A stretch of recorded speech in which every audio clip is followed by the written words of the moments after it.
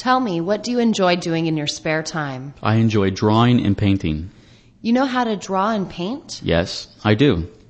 When did you learn how to do that? I learned back in high school. Oh, so you took an art class. Yeah, I love that art class. I see that you're pretty talented. Thank you very much. I wish I had a talent like that. I'm sure you have a talent. It's just hidden.